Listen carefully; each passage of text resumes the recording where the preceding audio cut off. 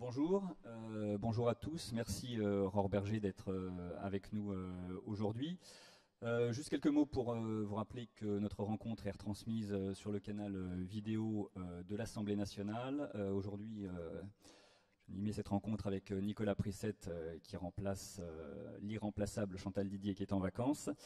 Euh, et tout de suite, d'ailleurs, euh, je n'ai pas de temps à vous présenter, hein, euh, présidente du groupe Renaissance, députée depuis 2017, Aurore Berger. Je passe la, parole à Nicolas Prissette pour une première question suite au, débat de cette nuit et de ces derniers jours.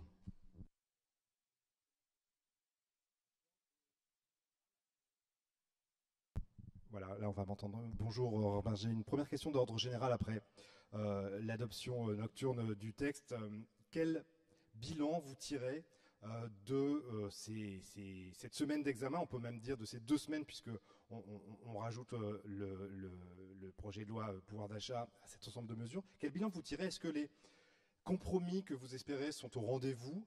Est-ce que vous les payez au bon prix ou au prix fort? Est-ce que la dynamique dans laquelle vous espériez pouvoir organiser les débats va dans le bon sens? Quel, euh, quel est votre regard politique On rentrera dans les détails après sur ces deux semaines.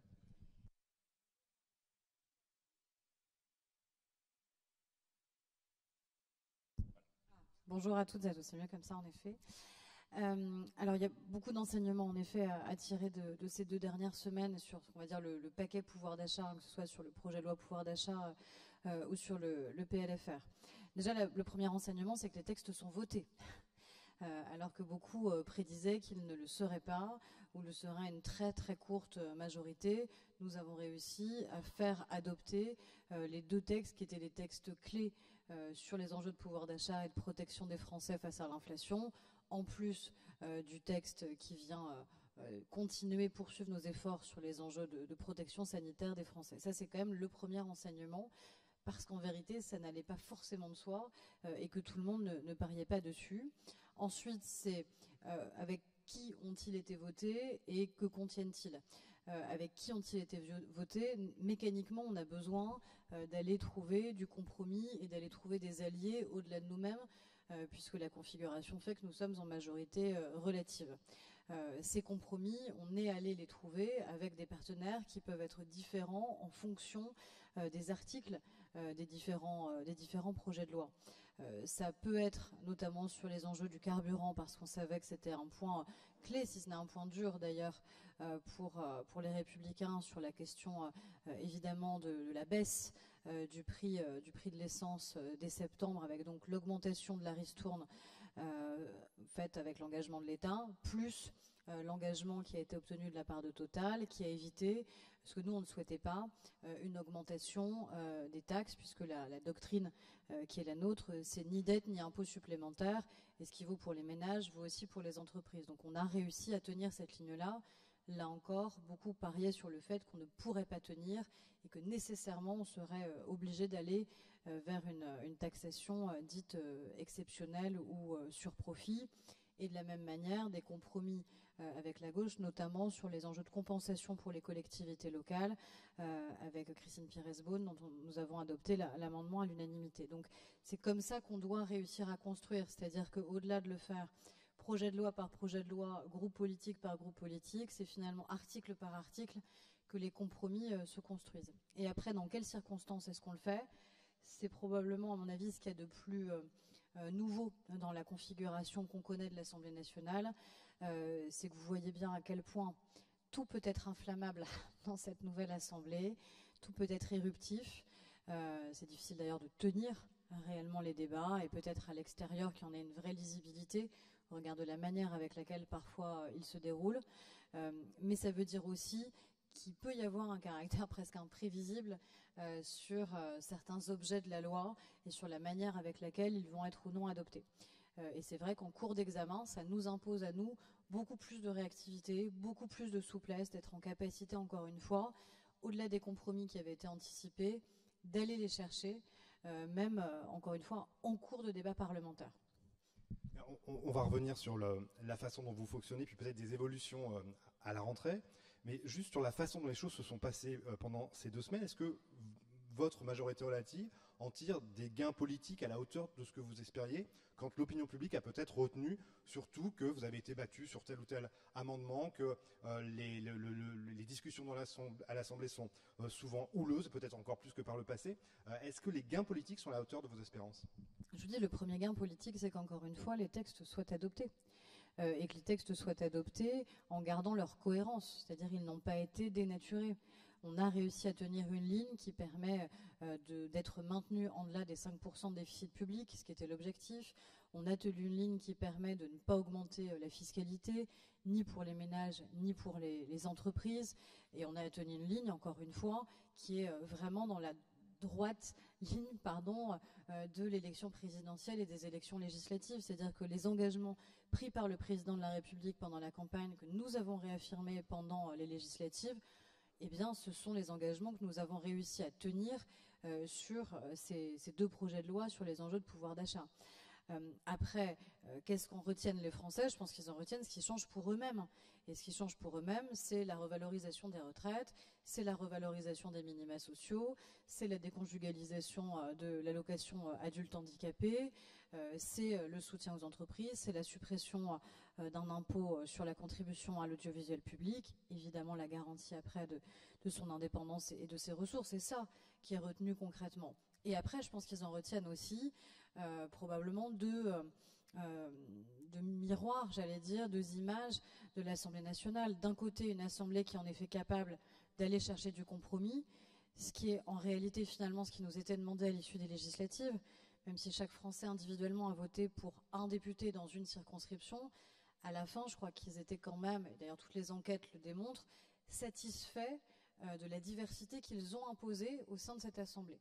Et donc de la difficulté supplémentaire qu'ils nous ont imposée justement d'être certes en majorité, mais pas en majorité absolue. Donc ça, ils retiennent qu'on n'a pas d'autre choix que d'aller chercher du compromis et que de facto ces compromis ont été trouvés, sinon les lois n'auraient pas pu être adoptées. Euh, et ils retiennent aussi, à mon avis, une image qui est euh, au détriment de notre Assemblée, euh, qui est le, climat dans lequel nous sommes obligés de légiférer.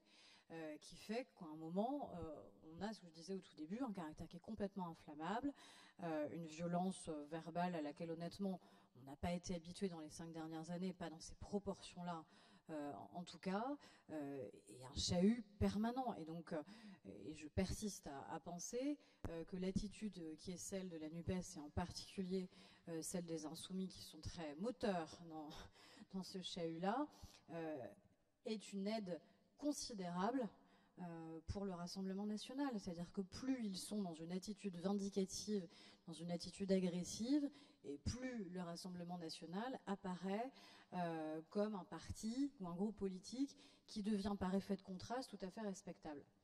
Euh, et donc nous, notre responsabilité, euh, c'est d'arriver encore une fois à tenir le cadre, évidemment, et à réinstaurer du clivage et un clivage clair avec l'extrême droite sur le fond des débats, euh, au-delà du fait qu'ils, portent une cravate et pas les autres, ils ne sont pas devenus respectables pour autant. Euh, et leurs idées ne sont, pas, ne sont pas devenues fréquentables. Mais c'est notre responsabilité d'arriver à réinstaurer du clivage, parce que pour l'instant, euh, ils sont restés très calmes, j'allais dire, dans leurs intentions et dans leur expression. Et c'est ça le vrai, le vrai danger, c'est qu'en effet, on a une totale euh, banalisation. Et encore une fois, l'effet de contraste, euh, malheureusement, les, aide beaucoup. Sur euh, le paquet fiscal, si on comprend bien, donc les textes, projets de loi et projets de loi de finances rectificatives ressortent façon équilibrée euh, de, l'Assemblée nationale. Est-ce qu'il y a néanmoins encore des, marges de manœuvre euh, qui, existent, puisque maintenant le texte va, partir au Sénat, avec euh, ensuite une CMP, commission mixte paritaire, qui sera conclusive ou pas. Est-ce que pour vous les équilibres sont satisfaisants et maintenant il ne faudrait pas trop s'en éloigner, ou est-ce qu'il y a encore des, des marges de manœuvre, des possibilités de discussion, des ajustements? Je crois que le Sénat lui-même est, attaché aussi à la question de la dépense publique. J'étais avec le président du Sénat euh, ce matin. Euh, c'est un objectif que lui-même rappelle. C'est-à-dire en effet de tenir la contrainte budgétaire dans laquelle on se trouve. et là-dessus, le, Sénat, et notamment les Républicains au Sénat, Bruno Retailleau d'ailleurs lui-même directement, l'ont rappelé. Donc je ne les vois pas dériver complètement de la trajectoire qu'on a réussi à tenir et, à fixer. Je sais qu'ils auront une attention évidemment particulière sur la question des, collectivités locales.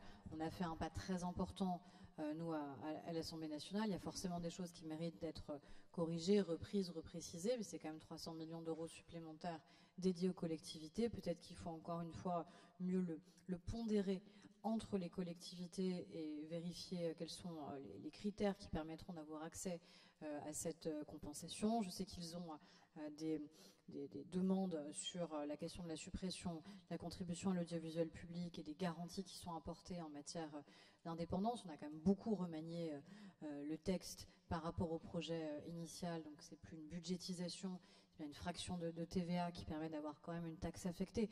ce qui était ce, qui précédait, pardon, avec la, contribution à l'audiovisuel public. Donc ça permet nous à la fois de bien assumer et garantir le fait qu'on supprime euh, un impôt qui pesait sur les Français, tout en ayant une taxe affectée qui est quand même une garantie supplémentaire et forte de, l'indépendance de l'audiovisuel public. Mais je sais que c'est les deux points euh, euh, d'attention principaux au Sénat. bonjour Anita Osser. Je, vous dites que l'essentiel c'est que les textes soient adoptés. Pourtant, pour les carburants, c'est tout à fait à l'opposé de ce que proposait le gouvernement, puisque Bruno Le Maire proposait une aide ciblée et finalement c'est une aide générale qui a été adoptée à l'Assemblée.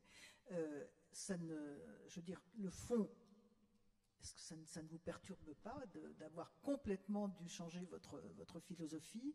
Et ma deuxième question, elle n'a rien à voir avec celle-ci, euh, est-ce que vous avez évalué le nombre de sièges que vous avez perdus à cause de votre refus de déconjugalisation de l'aide, de, de l'aide, euh, ça s'appelle l'allocation handicapée, pardon, qui était très impopulaire sur le deuxième point, je ne sais pas répondre, je ne sais, pas, euh, sais pas évaluer, euh, et ce n'est pas le sujet principal qui était ressorti, pour être très honnête, des différentes campagnes législatives qu'on a pu mener. Euh, on a considéré, nous, en tant que parlementaires, qu'il fallait le faire et qu'il fallait le faire dès le premier texte et sans attendre. Et c'est ce qu'on a dit. Moi, c'est ce que j'ai dit d'ailleurs dans mes premiers rendez-vous, notamment avec la Première ministre, en disant que ce sujet nécessairement allait revenir et qu'il était impératif qu'on puisse aboutir.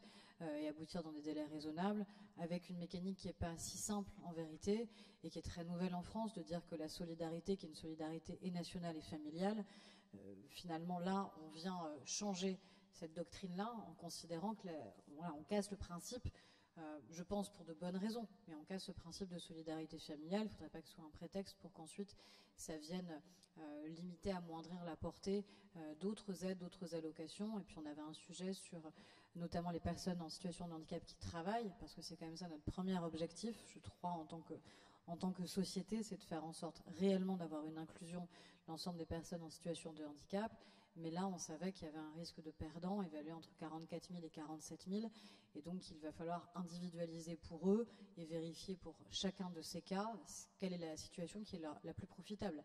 Est-ce que c'est de rester dans la configuration actuelle ou est-ce que c'est de déconjugaliser? Ce serait quand même le comble que des personnes en situation de handicap qui travaillent euh, soient perdantes dans la déconjugalisation. Donc ça, c'était un point, euh, un point clé, et je crois que c'est heureux qu'on l'ait fait, et qu'on l'ait fait euh, là en total compromis et partage avec les autres groupes d'opposition.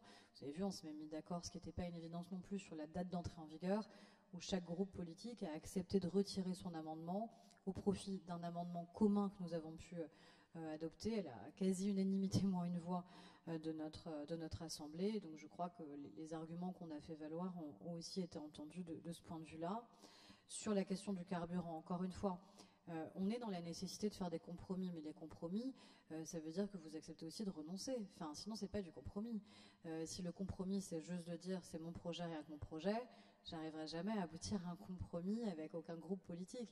Et de la même manière, si eux disent en face c'est mon projet, rien que mon projet, ils n'y arriveront pas non plus.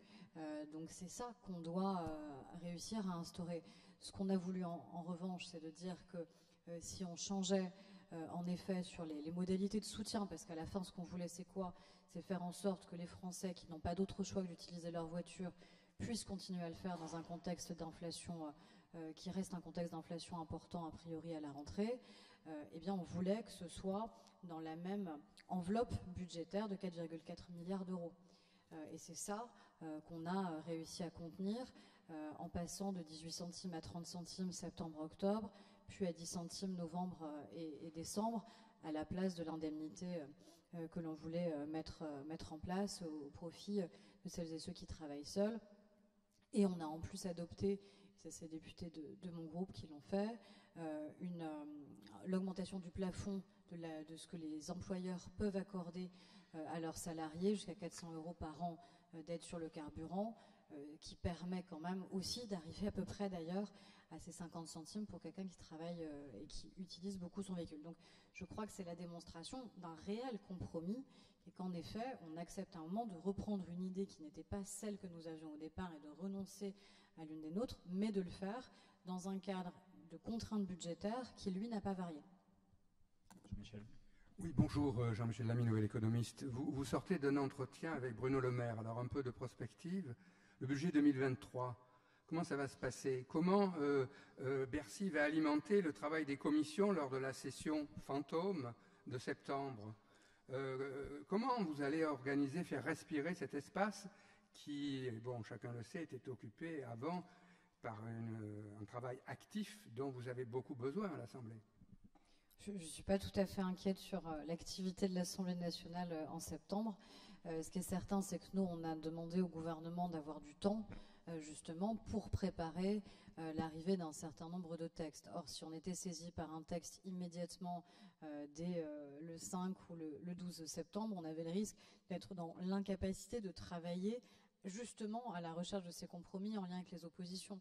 Et c'est vrai que là, on a réussi, je trouve, encore une fois, aller chercher du compromis, mais dans des délais qui étaient quand même extraordinairement contraints. or, sur les textes qui vont être en discussion à partir de la rentrée, euh, notamment sur la question de l'assurance chômage, puisque c'est le premier texte dont l'Assemblée nationale va être saisie, sur la question de, la loi immigration, là c'est le premier texte dont le Sénat va être saisi, puis ensuite sur le PLF que vous évoquez, c'est certain que ce n'est pas en dix jours qu'on arrive à engager euh, discussion et établissement de ces compromis-là. Sur le PLF, nous ce qu'on a demandé, c'est qu'évidemment euh, on puisse avoir des fins août des éléments de cadrage très clairs de programme par programme de manière à pouvoir euh, engager ces discussions avec les ministres qui seraient auditionnés euh, en septembre. Les présidents de commission envisagent évidemment d'auditionner euh, les différents ministres. Certains, ministres de l'Éducation nationale, va l'être dès la semaine prochaine pour des raisons évidentes sur les enjeux de rentrée scolaire, mais au-delà, ils le seront sur leur feuille de route. C'est aussi une demande conjointe qu'on avait formulée avec la, présidente de l'Assemblée nationale, de manière à avoir plus d'éléments de long terme de prévisibilité sur les feuilles de route ministère par ministère. Et donc ça, c'est à joindre évidemment euh, aux éléments de cadrage budgétaire qu'ils pourront euh, et devront nous présenter de manière à ce qu'ensuite on puisse engager euh, les discussions nécessaires avec notamment les oppositions et en lien avec le Sénat. Donc rassurez-vous, l'Assemblée va travailler dès le mois de septembre. elle ne sera pas saisie directement par un texte, mais ça n'empêchera pas les commissions de, travailler évidemment et de commencer à construire encore une fois les compromis et sur le PLF et sur la question de l'assurance chômage. Oui, bonjour, Adrien Callan, l'AFP. Euh, est-ce que le compagnonnage qui s'est instauré avec LR, vous pensez euh, qu'il va perdurer euh, plus longuement? Est-ce que les deux textes que vous entamez en octobre, donc immigration et assurance chômage, ne vous aliènent pas la gauche pour d'éventuels compromis? Je ne sais pas si on peut parler de, compagnonnage. je ne sais pas si eux-mêmes reprendraient ce terme à notre égard, je ne suis pas certaine. Euh, ce qui est certain, c'est qu'il faut euh, en effet qu'on aille encore une fois chercher euh, nous des alliés au-delà de nous-mêmes, et donc en fonction des textes, la nature de celles et ceux avec lesquels on peut travailler peut changer. de la même manière qu'on aura le texte énergie sur les enjeux notamment d'énergie renouvelable et de simplification des, dispositions, notamment administratives, qui permettent d'accélérer sur les ENR, peut-être qu'avec d'autres groupes politiques, euh, nous arriverons euh, à travailler comme là nous pouvons imaginer le faire par exemple sur l'assurance chômage avec les, avec les républicains. Donc je pense que c'est vraiment texte par texte euh, que ces différents compromis peuvent se dessiner. Ensuite, sur l'assurance chômage, Vous savez qu'on est tenu par des délais, c'est-à-dire que pour que les dispositions actuelles puissent continuer à s'appliquer en 2023, nous sommes obligés d'avoir une disposition législative qui doit être prise dès cet automne. Ou alors ça devient caduque. Donc on est quand même tenu aussi par ces, délais-là qui nous imposent finalement aussi que ça puisse être le premier texte. Au-delà des règles d'assurance chômage d'ailleurs, il y a d'autres éléments qui doivent pouvoir euh, s'ajouter à ce texte. On pense notamment à la question de la validation des acquis de l'expérience, comment euh, mieux en faire bénéficier les Français, simplifier les démarches qui aujourd'hui sont extrêmement complexes. Il y a des enjeux complémentaires aussi euh, de, formation, on peut imaginer ajouter à ce texte. Donc là, j'imagine et j'espère qu'au-delà des partenaires sociaux, qui sont évidemment associés notamment par, Olivier Dussopt, on aura à l'Assemblée, au-delà peut-être de la bataille, j'allais dire, sur les, règles d'assurance chômage, aussi des compromis sur d'autres sujets euh, euh, qui pourront s'ajouter, notamment sur ces questions de formation. Sur, la loi qui a été annoncée euh, par Gérald Darmanin suite à l'agression de policiers à Lyon et, la polémique avec Éric Piolle, loi qui, si on a bien compris, passera d'abord au Sénat. Est-ce qu'une nouvelle loi est, nécessaire en la matière? Est-ce que techniquement on n'a pas aujourd'hui euh, les, outils nécessaires pour, euh, mener à bien euh, les reconductions aux frontières d'étrangers en situation irrégulière, voire d'étrangers délinquants? Vous savez que c'est probablement l'un des sujets sur lesquels, sur lequel pardon, on est le plus interpellé euh, par les Français, c'est-à-dire euh, l'incompréhension que suscite le fait que des, agressions puissent euh, être perpétrées par des, situations, pardon, par des personnes qui étaient en situation irrégulière sur notre territoire. Donc ça suppose quand même à un moment que nous on vérifie quelles sont toutes les dispositions législatives qui peuvent être prises et qui peuvent faciliter à un moment les reconductions à la frontière parce qu'il y a un, caractère qui est absolument incompréhensible pour les Français ensuite de se dire que restent sur le territoire des personnes qui ne doivent pas y rester et qui en plus peuvent être des menaces euh, pour nos libertés publiques euh, ou des menaces pour la sécurité de nos compatriotes. Donc s'il y a des dispositions à prendre qui permettent encore une fois de mieux garantir la sécurité des Français de ce point de vue-là, je pense qu'elles méritent d'être prises et je pense que c'est comme ça que l'Assemblée légiférera réserve horizon politique, euh, dans la préparation du budget, euh, il y a une demande euh, constante des députés LR et des sénateurs LR, c'est de créer une, lutte contre la fraude sur la carte vitale. Ils indiquent qu'il y a des chiffres faramineux, notamment il y aurait 7 millions de contrevenants sur la carte vitale et ça pourrait rapporter euh, plusieurs milliards. C'est ce que disait par exemple Bruno Rotaillot ce matin. Pourquoi est-ce que, euh, est que vous avez l'intention de reprendre cette, euh, cette demande, cette, sous forme d'amendement éventuellement? Il n'y a pas de tabou à lutter ni contre la fraude sociale ni contre la fraude fiscale. et d'ailleurs, je pense qu'il faut parler des deux. Euh, parce que les deux sont une atteinte euh, à nos finances publiques et à la capacité de, l'État euh, à agir. Après, c'est surtout le, sujet évoqué par le SNA, la carte vitale biométrique. mais la carte vitale biométrique, je crois qu'elle prend du temps, surtout, à être mise en place. c'est surtout ça l'enjeu. C'est-à-dire que, évidemment, engager le débat sur la lutte contre ces deux fraudes fiscales et sociales la question est évidemment oui, et on a progressé en la matière. D'ailleurs, l'Assemblée nationale avait euh, euh, réalisé un rapport sur la lutte contre la fraude sociale. C'était Carole Grandjean, qui est aujourd'hui membre du gouvernement d'ailleurs, qui l'avait porté. Donc il y a un certain nombre de mesures qu'on peut prendre, euh, et je pense que le, gouvernement est tout à fait favorable. Et nous aussi, c'était encore une fois une de nos députés d'ailleurs qui avait porté ces différentes propositions sur la carte vitale biométrique. je crois que ça prend un peu plus de temps. Donc est-ce qu'il faut s'engager pour euh, justement évaluer les voies et moyens pour y parvenir et dans quel délai ce serait possible, à quel coût, euh, etc. je pense qu'il n'y a aucune difficulté là-dessus. Euh, par contre, ce serait illusoire de s'engager en se disant que dès l'année prochaine, tous les Français bénéficieront d'une carte vitale biométrique. mais je pense que le président Retailleau le, sait évidemment. une réaction par rapport au retour de Damien Abad dans l'hémicycle. Hier, Clémentine Autain nous disait qu'elle trouvait ça choquant. Écoutez, ce qui pas ce qui est choquant dans le fait qu'un membre de l'Assemblée nationale euh, siège au sein de l'Assemblée nationale. J'ai pas d'autres commentaires à faire. Euh, voilà, il est député euh, et donc il siège au sein de l'Assemblée nationale. Merci, bonjour Elisabeth Pino d'agence Reuters. Euh, je voudrais revenir sur la tectonique des plaques politiques. Euh, vous avez dit qu'on verrait texte par texte, mais néanmoins, vous êtes allé beaucoup moins loin que Bruno Le Maire ce matin qui disait qu'il y avait quasiment un partenaire qui avait été trouvé chez LR. Et évidemment, Olivier Marlex s'en défend. Euh, bon, qu'est-ce que vous pensez de ça? Et puis, je voulais parler évidemment du groupe Horizon, qui a voté un texte contre l'avis du gouvernement. Derrière Horizon, il y a Édouard Philippe. Est-ce qu'on peut penser qu'on a déjà entamé un post-macronisme, un post-2027, avec Édouard Philippe d'un côté, Bruno Le Maire de l'autre, et peut-être d'autres acteurs? Merci. Vous allez un peu vite, encore plus vite que la carte vitale biométrique. Euh, écoutez, encore une fois, sur les partenaires, euh, euh, est-ce que les LR ont été de facto un partenaire sur ce texte? Oui, parce que, en effet, ce texte a été voté, parce qu'eux-mêmes aussi l'ont voté, mais au-delà aussi, vous avez des députés socialistes élus contre la NUPES qui ont adopté ce texte. Vous avez une majorité de députés du groupe Liberté Territoire Outre-mer qui a aussi adopté ce texte, qui là aussi n'était pas une évidence ou qui n'allait pas de soi au début de son examen. donc je crois que la, majorité a été plus large encore qu'uniquement le, groupe, le groupe LR. et encore une fois, moi je reste persuadée que ça dépendra des différents textes. Euh, et que d'ailleurs le groupe LR n'est pas uniforme à l'Assemblée nationale.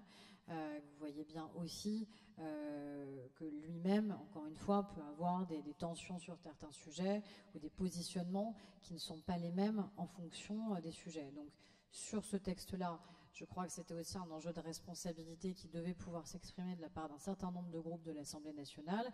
Est-ce que oui ou non, ils étaient favorables à l'adoption de textes qui permettent de protéger le pouvoir d'achat des Français? Soit certains considèrent que comme ça ne va pas assez loin, il vaut mieux carrément voter contre ce texte, ce que certains ont considéré euh, à gauche de l'hémicycle, soit à droite de l'hémicycle, certains ont considéré que ces avancées étaient, étaient présentes et qu'elles méritaient à un moment d'entrer euh, en vigueur. Euh, vous voyez le, débat qu'on a eu hier sur cet amendement qu'on a finalement rejeté en seconde délibération sur la question des retraites. C'est vrai que c'est quand même assez cocasse de voir une partie de la gauche euh, voter euh, cet amendement euh, quand même à 500 millions d'euros, évidemment, qui n'était pas bien gagé pour, bref, plein de, questions techniques, alors que dans le même temps, une semaine avant, la même partie de l'hémicycle avait voté contre le texte pouvoir d'achat qui permet de revaloriser de 4% les retraites des Français. Donc c'est quand même assez, assez étonnant, enfin en tout cas ça mérite, je pense, d'être relevé. C'est-à-dire que quand on nous interroge notamment sur qui a voté le texte pouvoir d'achat, je pense que c'est aussi intéressant d'interroger ceux qui ne l'ont pas voté euh, et de comprendre pourquoi à un moment la gauche refuse de voter un texte pouvoir d'achat qui permet pourtant euh, une protection des Français euh, meilleure qu'en restant à droit constant de manière évidente. Si le texte pouvoir d'achat avait été rejeté par notre Assemblée, ça veut dire pas de revalorisation des retraites, euh, ça veut dire pas de revalorisation des minima sociaux ni des APL, ça veut dire pas de déconjugalisation de la hache. C'est ça qui se serait produit. Et donc je pense que plutôt qu'en permanence que de nous demander avec qui vous votez, il y a aussi qui finalement refuse de voter. Euh, et je crois que cette question, elle est euh, aussi intéressante, il me semble, et éclairante que, la première. Ensuite, sur une question que vous posez par rapport à Horizon, je vous laisserai la poser au président du groupe Horizon aussi directement. Moi, je considère que la loyauté qui doit être la nôtre entre les trois groupes, euh, elle doit tenir, euh, que ce soit en début de mandat, en milieu de mandat ou en fin de mandat.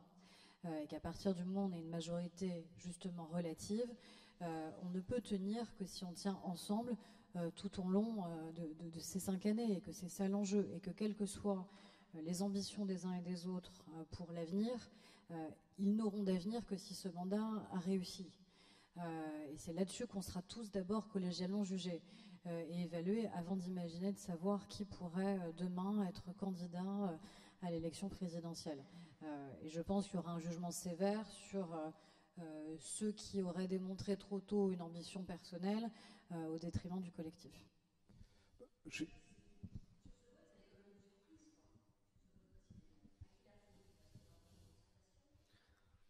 Il n'y a, pas eu de problème de concertation. La concertation, elle a euh, évidemment existé. Et vous doutez bien que les trois groupes de la majorité euh, savaient pertinemment quels étaient les, compromis envisagés. et de toute façon, les amendements étaient évidemment rendus, rendus publics et nous assistons au même petit déjeuner de la majorité avec la Première ministre, aux mêmes discussions avec le ministre de l'économie et des finances. Donc je pense que le sujet n'était pas tout à fait là. Euh, et je pense encore une fois qu'il faut qu'on s'en tienne à cette ligne de loyauté entre nos trois groupes de la majorité et à l'égard du gouvernement. Je, prolonge la question euh, portant sur vos relations avec les républicains en regardant un peu plus à droite, parce que les articles que vous euh, présentez, que vous discutez, sont aussi votés pour beaucoup par le Rassemblement national. Vous avez suggéré tout à l'heure qu'il fallait rétablir du clivage avec eux. Comment vous comptez vous y prendre à partir du moment où de facto, ils vous soutiennent ils ne nous soutiennent pas. Et d'ailleurs, ce n'est pas parce qu'on vote un article d'un projet de loi ou qu'on vote un projet de loi que pour autant on en soutien de l'action du président de la République ou du gouvernement. Et d'ailleurs, je crois qu'ils l'ont dit eux-mêmes euh, très clairement. Euh, donc il n'y a pas de soutien ou il n'y a pas d'allégeance faite au président de la République, euh, au gouvernement ou à la majorité présidentielle parce qu'on vote la revalorisation des retraites.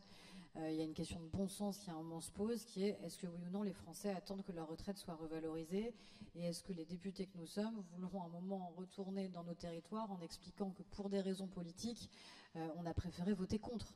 Et encore une fois, c'est là où je pense que c'est quand même une question qu'il faut poser à la gauche. Euh, et d'ailleurs, toute la gauche n'a pas eu la même attitude. Hein. Le Parti socialiste, notamment, s'est abstenu sur le texte pouvoir d'achat. Il n'a pas voté contre, contrairement aux trois autres groupes de, la NUPES. Euh, donc je, crois que c'est quand même cette question fondamentale qu'il faut, euh, qu'il faut poser. Et d'ailleurs, les très rares fois euh, où nous avons trébuché, c'est dans une alliance entre l'extrême gauche et l'extrême droite. c'est uniquement cette alliance-là qui peut nous faire trébucher.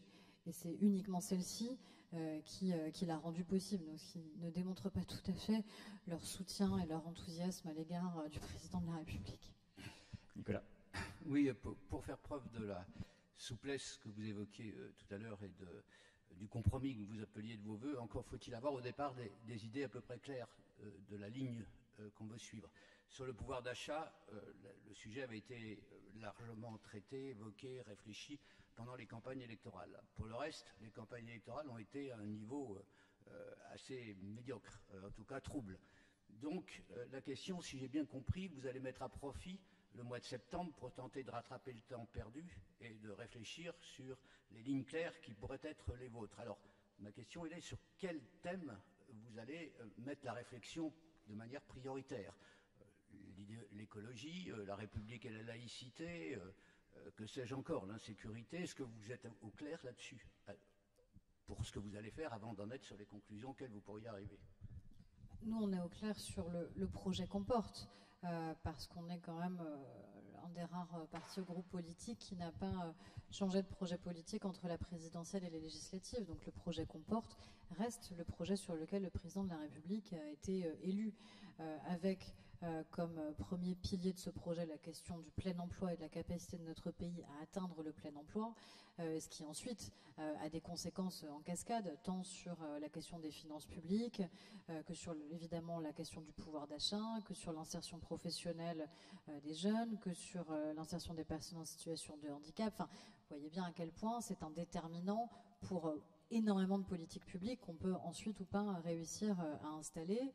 Euh, le deuxième pilier, c'est évidemment les enjeux de lutte contre le dérèglement climatique ce que disait Elisabeth Borne sur la capacité à être radicale aussi euh, dans les propositions qui seront, euh, qui seront portées. Et là encore, c'est par hasard, c'est les deux premiers textes quasiment de, cette rentrée. Il y en a un premier pilier justement sur le travail, et donc la, réintégration dans l'emploi et la manière avec laquelle on module l'assurance chômage pour qu'elle soit un levier de reprise d'activité euh, et c'est l'un des sujets sur lesquels on a été le plus interpellé, honnêtement, au moment des, législatives, euh, et euh, sur les enjeux énergétiques, au-delà des enjeux conjoncturels qu'on est en train de vivre, prix de l'énergie, mais surtout risque de pénurie.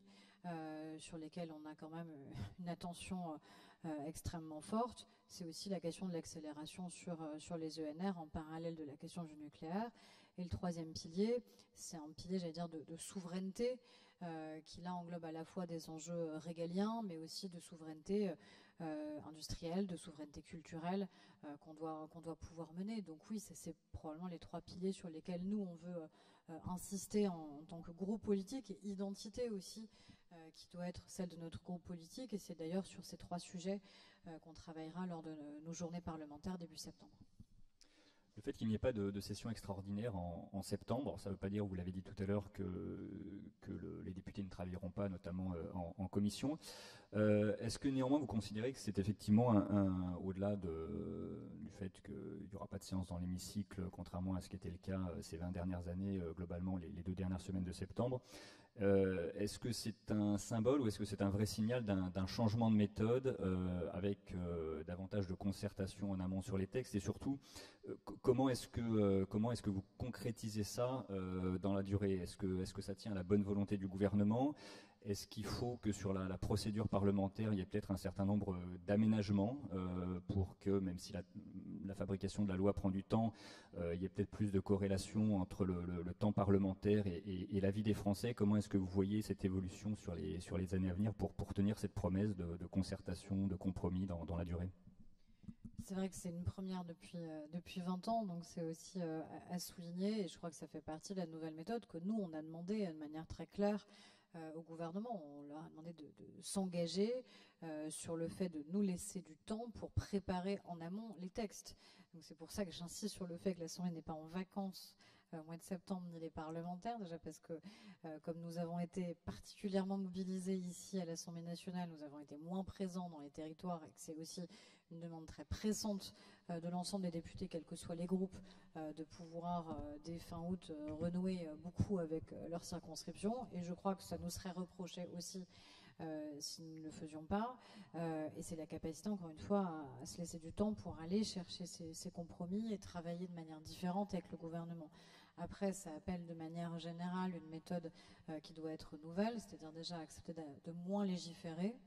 alors ça peut être étonnant quand ce sont les parlementaires qui le demandent, euh, mais en, vérité, c'est aussi parce que l'intelligibilité, la clarté, la lisibilité de la loi, euh, la capacité à porter des objets politiques sont quand même liés aussi au volume euh, de, textes que nous avons à examiner et au volume de chacun des textes. Donc moins de lois, avec en effet moins d'articles, ce qui oblige aussi à faire des choix euh, sur ce qui est prioritaire, sur ce qui enfin ressort vraiment du cadre législatif versus du cadre réglementaire, ce qui a vérité a beaucoup été effacé euh, ces, dernières, euh, ces dernières années, en supprimant parfois des, manières de faire qui ne sont plus adaptées à notre nouvelle Assemblée. Typiquement, le recours aux ordonnances ne peut plus prévaloir dans la nouvelle configuration qu'on connaît.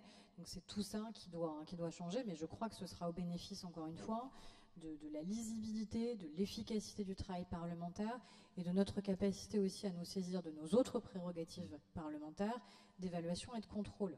Euh, et sur les enjeux d'évaluation notamment, euh, là, toutes les différentes commissions vont, s'en saisir par rapport au texte que nous avons adopté dans le quinquennat précédent.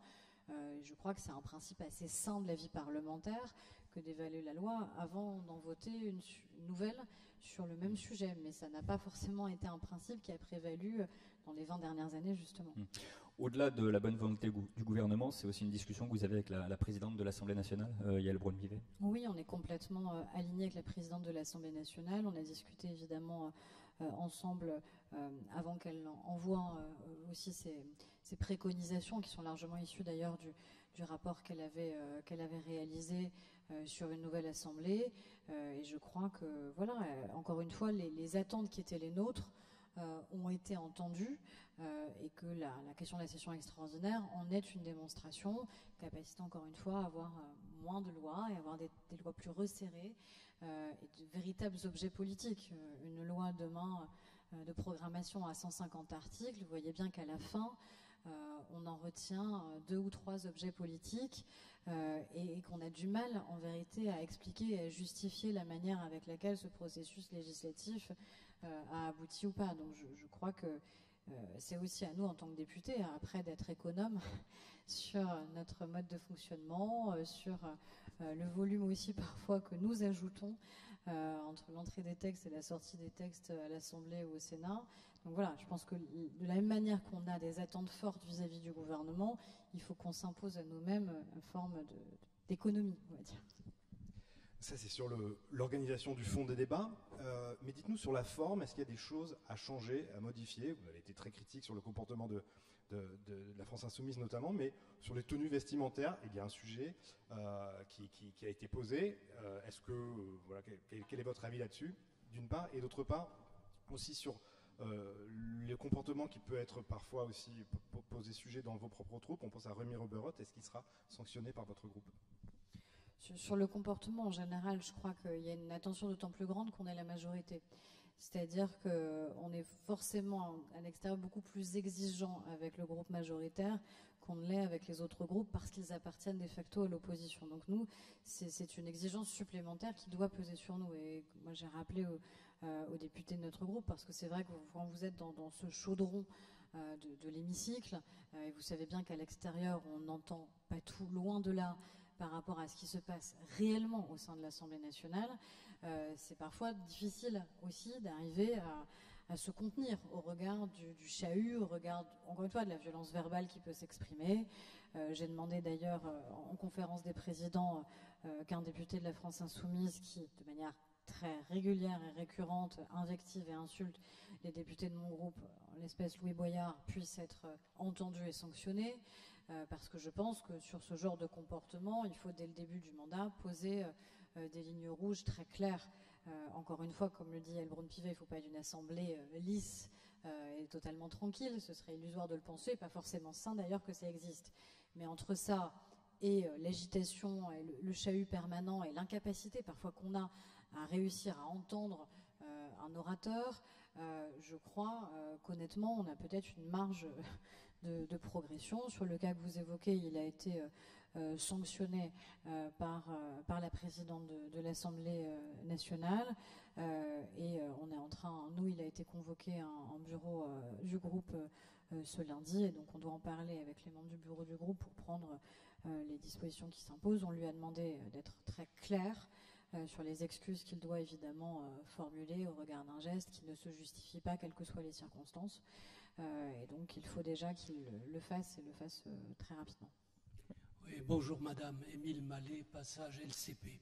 Vous avez beaucoup parlé de la majorité, mais parlons un peu de l'opposition. Est-ce que, au-delà du brouhaha qu'il y a à l'extrême gauche et du soupçon qu'il y a à l'extrême droite, est-ce que vous discernez une stratégie politique chez les uns et les autres? Est-ce que vous diriez que c'est la même radicalité qui s'exprime dans ce que vous avez appelé le chaudron parlementaire. Oui, je pense qu'en effet, il y a deux stratégies euh, très différentes qui sont en train de, euh, de s'exprimer. Je pense que d'un côté, vous avez une recherche absolue de, de, respectabilité, de notabilisation euh, de la part de l'extrême droite, qui ne doit pas nous faire effacer, oublier euh, encore une fois, les idées qui sont portées. Le risque, ce serait ça. Le risque, c'est que la forme prévale et que la, nouvelle respectabilité sur la forme, d'autant plus par effet de contraste, fasse oublier, encore une fois, les idées qui sont portées. Euh, et donc, on est aussi des, leviers, des textes euh, qui permettent de démontrer, encore une fois, ce qu'est l'extrême droite, ce qu'elle reste. Et je crois que c'est cette confrontation sur le fond et sur les idées qui est impérative euh, et qu'on doit nous pouvoir euh, réinstaurer.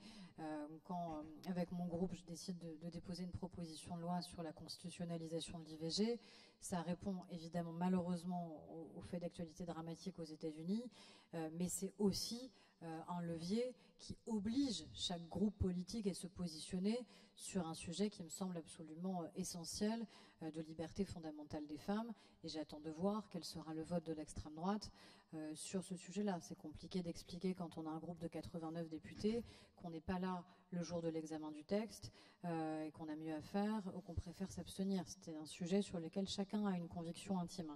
Euh, et je crois que ça mérite que chacun du coup l'exprime.